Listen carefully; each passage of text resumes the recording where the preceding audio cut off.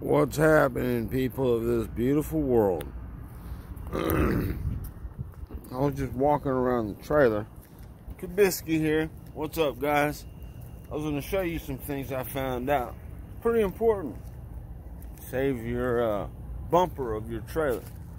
As you notice, I got the vibe from Forest River, but the bumper, they're not really strong. You see them welds? I mean, really?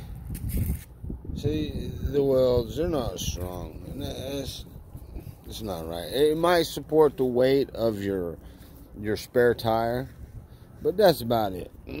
so, uh, what I did was I did some research and I found this company.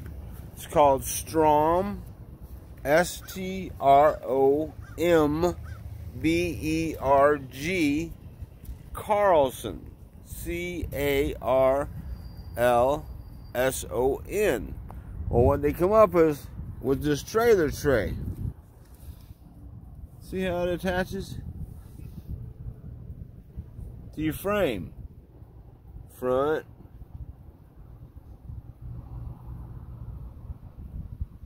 And back. And it's got a spot where you can position them here. You want to make it go out farther, you want to make it go out shorter, whichever. You want it to come in or whatever.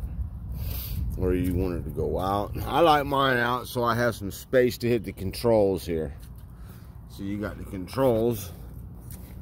They're right here on the back side. You can see them in there. Your battery and everything on your generator. This happens to be a uh, Champion 9,375 watt 439 cc motor. This is an inverter generator where I can get power wherever I'm at. I mean, even some spots is close. You adjust it. There you go. Good to go. That's my gas line. That gas line puts the gas in when I never run it on propane. I don't put gasoline in this, but I mean, this thing, Stromberg Carlson trailer tray.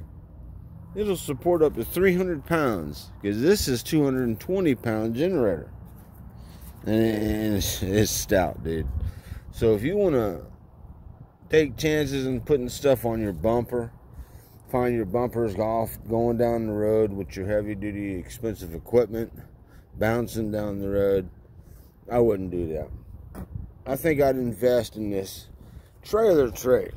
Again, it's uh, Strom, S T R O M, as in Mike, B E R G, Carlson tray. Switch this tank cover out so you can take your tanks off. It unzips, your tanks come right on out. But with the hard cover, you can't take your tanks off. So switch this off so your old hard tank tray so you can get in and out. See here? get access to your tanks right there.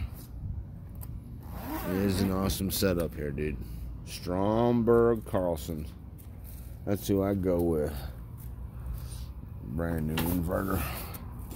This is the job. Alright, people. God bless. Y'all have a safe year. Safe travels.